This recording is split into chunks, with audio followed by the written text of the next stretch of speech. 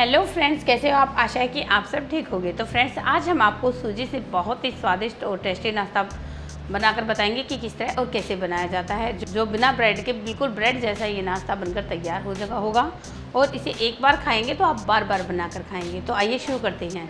सबसे पहले मैंने एक बाउल ले लिया है तो आप देख सकते हैं, ये मैंने खाली बाउल लिया है। अब मैं इसमें एक कटोरी अपनी सूजी डाल देती हूँ। आप देख सकते हो, मैंने एक छोटी कटोरी सूजी ली हुई है। और अब हम डालेंगे इसमें कुछ वेजिटेबल वेजिटेबल मैंने ली हुई है पेप्सिकम ये दोनों चीज़ें मैंने इसमें डाल दी हैं। और अब हम इसमें डालेंगे एक बड़ा चम्मच दही का। तो देखिए, ये एक चम्मच मैं इसमें दही ऐड कर रही हूँ। और अब मैं इसमें डालूँगी स्वाद अनुसार नमक। तो देखिए हाफ़ टी स्पून मैंने इसमें नमक ऐड कर दिया है और अब मैं इसे अच्छे से मिक्स कर लूँगी और अब मैं इसमें डालूँगी पानी। आपको इसका पतला घोल नहीं बनाना है, बिल्कुल डो जैसा तैयार करना है ये। थोड़ा सा पानी मैं इसमें और ऐड कर लेती हूँ। और दो से तीन मिनट के लिए अपनी सूजी को इसी तरह फूलने के लिए एक तरफ़ रख देती हूँ। तो फ्रेंड्स जब तक हमारी सूजी अच्छे से पक्का तैयार हो रही है, तब तक मैं अपनी कढ़ाई में अपनी इस पर पानी रख लेती हूँ। तो देखिए, मैंने कढ़ाई में पानी रख लिया है। मैंने एक से दो गिलास पानी इसमें ऐड कर दिया है, डाल लिया है। मैंने अपनी कढ़ाई में दो गिलास पानी डाल दिया है और इसे अब मैं बॉईल होने के लिए इसी तरह छोड़ दूँगी, क्योंकि हम जो नाश्ता बनाने जा रहे हैं वो स्टीम होकर बनेगा। तो देखिए फ्रेंड्स हमारी सूजी को 10 से 15 मिनट हो चुके हैं। अब हम इसमें ऐड करेंगे हाफ़ टी स्पून खाने वाला सोडा। मैं इसमें एक खाने वाला सोडा ऐड कर रही हूँ। आपको हाफ़ टी स्पून ही डालना है, क्योंकि इससे हमारी सूजी काफ़ी फूल जाएगी। और अब हम इसमें डालेंगे half teaspoon baking soda इससे भी हमारा जो भी नाश्ता हम बनाएँगे, वो अच्छे से फूल जाता है। ये केक में भी यही यूज़ होता है। तो देखिए मैंने इसे इसमें डाल लिया है। तो जब तक हमारी सूजी अच्छे से फूल कर तैयार हो रही है, तब तक हम अपने केक वाले इनको अच्छे से ग्रीस कर लेते हैं। तो देखिए, मैं इसमें अपना नाश्ता बनाकर तैयार करूँगी। तो इसमें अब डाल लेते हैं हम वन स्पून घी, कि हम चारों तरफ़ से इसे ग्रेस कर लें अच्छे से। क्योंकि हम जो इसमें नाश्ता बनाने जा रहे हैं, वो अच्छे से वो इस पर चिपके नहीं, ताकि वो इस पर चिपके नहीं। तो देखिए, मैंने इस प्रकार ये ट्रे ले ली है और इसके चारों तरफ़ अच्छे से घी फैला लिया है। अब हम एक बार फिर से अपनी सूजी को अच्छे से हिला के अपने बैटर को इसी में डाल देंगे।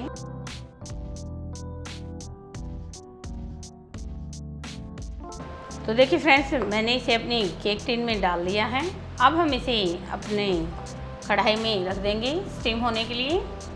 तो देखिए, जैसे कि आप देख सकते हैं, मैंने कढ़ाई में एक स्टैंड रख दिया है और इसी के ऊपर मैं इसे रख दूँगी। और अब हम इसके ऊपर लगा देंगे ढक्कन। तो देखिए, मैंने इसके ऊपर ढक्कन लगा दिया है। अब इसे आप 10 से 15 मिनट के लिए इसी तरह पकने देंगे। तब तक हम इसका जो मसाला है वो तैयार कर लेते हैं। तो देखिए फ्रेंड्स, मैंने अपनी एक कढ़ाई इस पर रख दी है और दो बॉईल किए हुए आलू मैंने क्रश कर लिए हैं। अब इसमें डालेंगे हम थोड़ा सा ऑयल और इसी में डालने हैं हमें थोड़े से सरसों के दाने। तो देखिए हमारे सरसों के दाने चटकने लगे हैं। अब इसे हम लो फ्लेम पे करके इसमें डालेंगे दो से चार पत्ते करी के। और अच्छे से इसे हिला देंगे। और अब इसमें डालेंगे हम अपने क्रश किए हुए आलू। ये दो मैंने मीडियम कर आलू लिए हुए हैं और अब हम इसे अच्छे से मिक्स कर लेंगे। और अब इसमें डालेंगे हम थोड़ी सी हल्दी, लाल मिर्च पाउडर। तो देखिए फ्रेंड्स, थोड़ा सा मैंने इसमें नमक डाल लिया है स्वाद अनुसार। और अब हम अपने मसाले को हिला देंगे।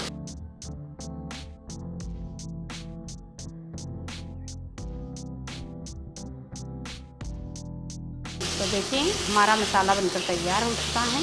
अब इसे हम एक साइड में रख देंगे। तो देखिए फ्रेंड्स जैसे कि मैंने आपको बताया था, मैंने इसे गर्म पानी में, कढ़ाई में रख दिया था और अभी मैंने इसे जस्ट निकाला है। तो आप देख सकते हो, यह इस प्रकार का बनकर तैयार हो जाता है। अब हम इसके वो चारों तरफ़ से, चाकू की सहायता से इसके चारों तरफ़ चाकू लगा के इसे उतार लेंगी। यह बड़े, बहुत ही आसानी से बनकर तैयार हो जाता है। और अब हम इस तरह से निकाल लेते हैं। तो देखिए, हमारे यह नाश्ता इसमें निकल कर तैयार हो चुका है, आप देख सकती हो।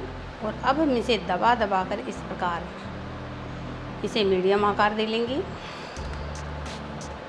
और इसे सीधा कर लेंगे। तो देखिए, यह कितना बढ़िया और कितना लाजवाब बनकर तैयार हुआ है।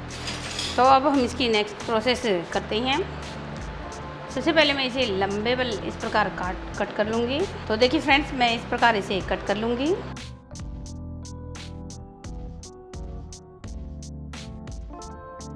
तो देखिए, यह कितने लाजवाब और कितने बढ़िया बनकर तैयार हुए हैं, आप देख सकते हो। अब इसी के ऊपर मैं अपना मसाला रख लेती हूँ, जो कि हमने आलू का बनाकर तैयार किया था। तो देखिए, मैंने अपने आलू के मसाले को इसके ऊपर फैला लिया है अच्छे से। अगर आप तीखा खाना पसंद करते हो तो आप इसे इसमें मिर्ची भी डाल सकते हो। तो देखिए फ्रेंड्स, आप देख सकते हो बिना आलू के, बिना ब्रेड के हमारा यह ब्रेड का नाश्ता कितना बढ़िया बनकर, लाजवाब बनकर तैयार हुआ है। यह दिखने में भी काफ़ी अच्छा दिख रहा है। अब दूसरे को भी हम इसी तरह इसके अंदर अपना आलू का पेस्ट रखेंगे और इसके ऊपर दूसरी परत रख लेंगे। तो फ्रेंड्स देखिए, कितना लाजवाब और कितना बढ़िया नाश्ता हमारा बनकर तैयार हुआ है, आप देख सकते हो। अभी मैं इसे डीप फ्राई करूँगी। तो उसके लिए मैं अपनी गैस को ऑन कर लेती हूँ। तो देखिए, मैंने अपनी गैस पे कढ़ाई रख ली है। और कढ़ाई में डालेंगे हम थोड़ा सा ऑयल ज़्यादा ऑयल नहीं डालना है आपको, क्योंकि मैं इसे डीप फ्राई कर रही हूँ। और इसको हम चारों तरफ़ फैला लेंगे और इसी के अंदर अपने इस नाश्ते को रख के डीप फ्राई कर लेंगे। हमने दोनों नाश्ते इसी में रख लेने हैं।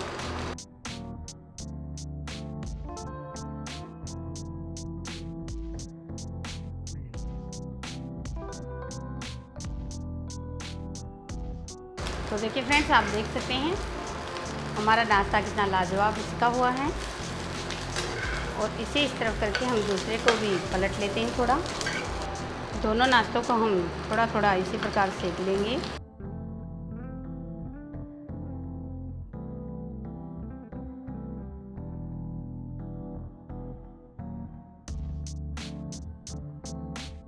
तो देखिए फ्रेंड्स, आप देख सकते हैं हमारा कितना बढ़िया और लाजवाब नाश्ता बनकर तैयार हो चुका है। बिना ब्रेड के हमारा बहुत ही टेस्टी और बहुत ही बढ़िया ये नाश्ता बनकर तैयार हो चुका है।